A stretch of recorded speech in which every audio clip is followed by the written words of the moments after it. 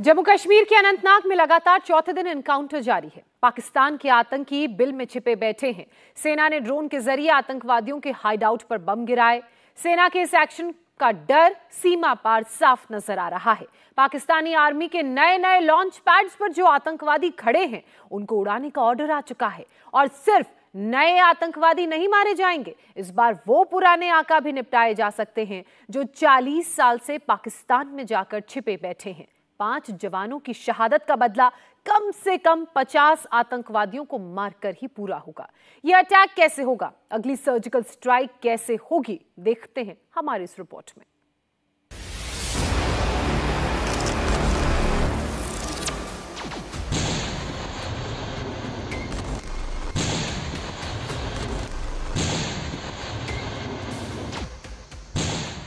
आतंकवादियों के बिलों पर धमाका शुरू हो चुका है।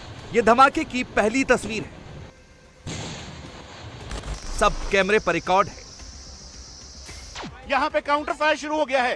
जो रोग है, गुफा है, उसके ऊपर फायर करते हुए, जो पूरा जो गुफा है, उसको ध्वस्त करते हुए भारतीय सेना के जवान हैं स्पेशल फोर्स के कमांडोज हैं। और यहाँ पर आप देखें तो इसको पूरा रिकॉर्ड किया जा रहा है। तेज फायरिंग शुरू हो गई है। स्पॉट किया जाए, जहाँ पर आतंकी छुपे हुए हैं। और ये देखिए, तेज आवाजों के साथ ये ये फिर से फायरिंग हो रही है। यह धमाके की दूसरी तस्वीर। पीर पंजाल की पहाड़ियाँ हिलने लगी हैं। गोले आतंकवादियों के छिपने वाली जगह पर ही गिरे हैं।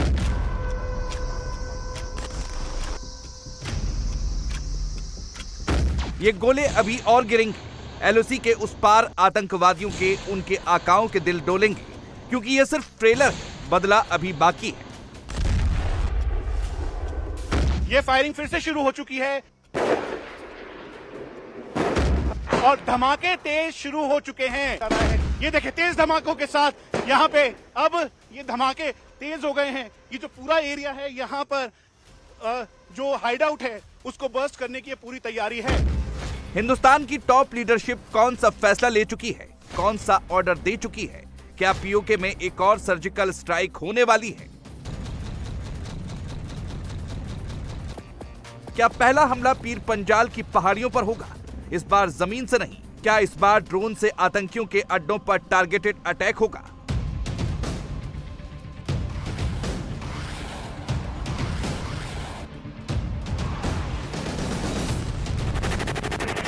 आखिर ऐसा क्या है पीर पंजाल की पहाड़ियों में, कि आतंकी आसानी से उसे अपना बेस बना लेते हैं? जंगल में, पहाड़ी में कहाँ छिपकर हमला करते हैं?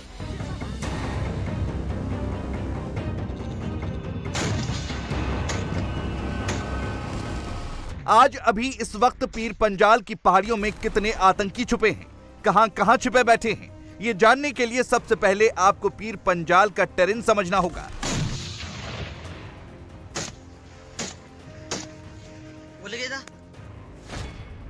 पीर पंजाल पर्वतमाला पाकिस्तान के कब्जे वाले कश्मीर से लेकर भारत के जम्मू कश्मीर और हिमाचल प्रदेश तक फैली हुई है। पीर पंजाल की पहाड़ियों में एक तरफ़ जम्मू रीजन है जबकि दूसरी तरफ़ कश्मीर घाटी है। पीर पंजाल की पहाड़ियाँ पाकिस्तान के कब्जे वाले कश्मीर के नीलम वैली तक जाती हैं।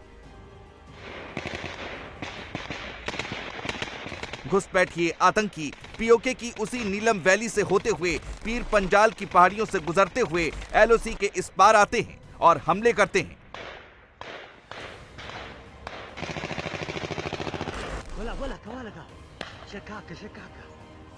पीर पंजाल पर्वतमाला की जो भौगोलिक स्थिति है या कहें उसकी जैसी बनावट है, वो अफ़गानिस्तान के पहाड़ों की तरह ही है।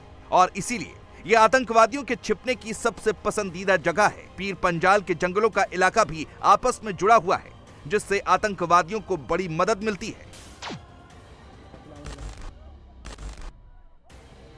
इसका टेरेन ऐसा है कि आतंकी हमला करने के बाद आतंकी आसानी से या तो जंगलों में छिप जाते हैं या गुफाओं को अपना अड्डा बना लेते हैं। यानी वो एक जगह से हमला करने के बाद दूसरी जगह जाकर भी छिप सकते हैं, जिससे उन्हें ट्रैक करना मुश्किल हो जाता है। पीर पंजाल की पहाड़ियों में छिपकर आतंकी कैसे सुरक्षा बलों को निशाना बनाते हैं, उसे आप इन चार तस्वीरों को देखकर समझ सकते हैं। कुछ महीने पहले अपलोड हुए ये सारे वीडियो खुद पाकिस्तानी आतंकवादियों ने अपने फ़ोन से बनाए हैं, जिसे पाकिस्तान ने सोशल मीडिया पर वायरल कराए हैं। अनंतनाग में भी बिल्कुल यही हुआ है। सुरक्षा बलों को निशाना बनाने के बाद दो से तीन आतंकवादी इसी पीर पंजाल के पहाड़ों पर बनी गुफाओं में जाकर छुप गए, जिसे इंडियन आर्म्ड फोर्सेज ने टारगेट करके तबाह कर दिया।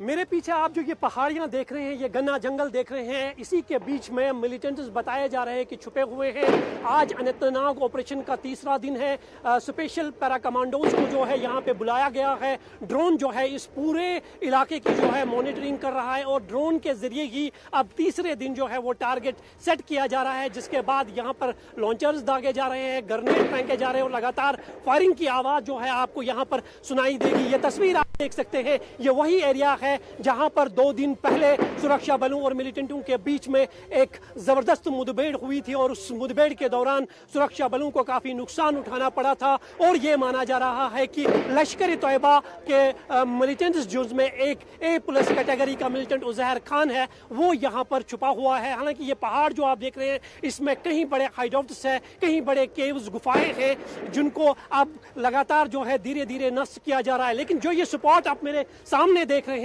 माना जा रहा है कि मिलिटेंट जो है, यहाँ से ज़्यादा दूर भागने में कामयाब नहीं हुए हैं, क्योंकि जो कल और आज सुबह में ब्लास्ट किए गए थे, उसके बाद सुरक्षा बलों को यह पुख्ता यकीन है कि मिलिटेंट जो है, वो इसी जगह पर, इसी स्पॉट पर जो है, छुपे हुए हैं। इस वक्त इंडियन आर्मी का एक्शन पीर पंजाल की उस लोकेशन पर चल रहा है, जो भारत की तरफ़ है। हेलीकॉप्टर्स गश्त लगा रहे हैं। ड्रोन से पीर पंजाल की हर गुफा में छिपे आतंकी को ट्रैक किया जा रहा है। पाकिस्तान से आए आतंकी बड़ी संख्या में इन्हीं गुफाओं में दुबक कर बैठे हैं। लेकिन असली धमाका तो एलओसी के उस पार, यानी पाकिस्तान के कब्जे वाले कश्मीर में होगा। पीर पंजाल माउंटेन रेंज को गूगल अर्थ से समझिए। ये रहा अनंतनाग, जहाँ आतंकियों ने हमला किया। और ये रहा पाकिस्तान के कब्जे वाले कश्मीर का रावलाकोट, जहाँ से होते हुए आतंकी पीर पंजाल के जंगलों और पहाड़ों में दाखिल हुए और हमला किया। पाकिस्तान ने पुलवामा की ही तरह अनंतनाग में भी लक्ष्मण रेखा पार की है और इस बार भी उसे करारा जवाब मिलेगा। हिंदुस्तान की टॉप लीडरशिप चुप नहीं बैठेगी, एक बार फिर घर में घुसकर मारेगी। ये हमारा सिद्धांत है, हम घर में घुस के मारेंगे। घर में घुस के मारेंगे घर में घुस के मारेंगे। आतंक और हिंसा फैलाने वाली फैक्ट्री जहाँ भी होगी इस चौकीदार के निशाने पर है। भारत को जहाँ से भी खतरा होगा हम घर में घुस करके मारेंगे। आतंकवादियों के अड्डे में घुसकर मारेंगे। आतंक को हरा कर ही हम दम लेंगे। ये हमारा संकल्प है। सवाल है कि भारत का अगला स्ट्राइक कब और कैसे होगा? बालाकोट में एयर स्ट्राइक हुई थी। क्या इस बार रावलाकोट में ड्रोन स्ट्राइक होगा? अगर हाँ तो क्या ड्रोन स्ट्राइक के बाद तस्वीर बिल्कुल ऐसी दिखाई देगी?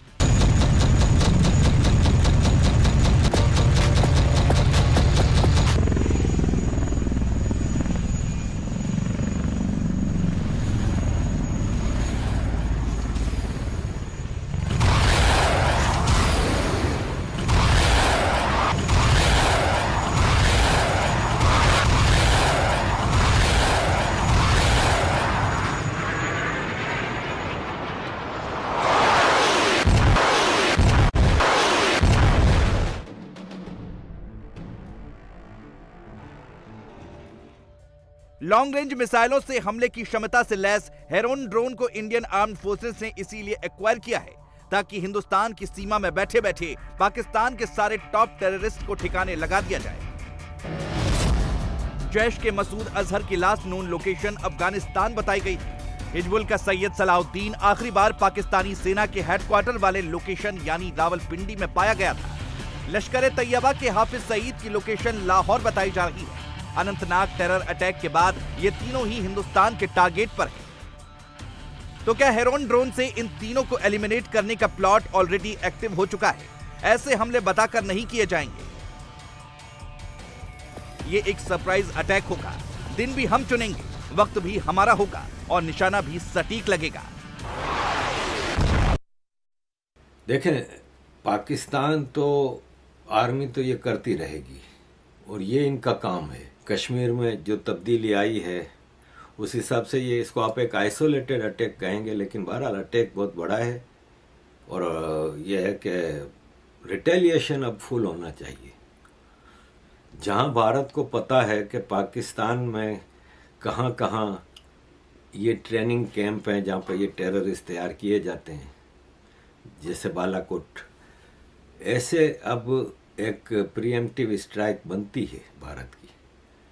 और यह है कि पाकिस्तान को एक, देखें, ज़रूरी है।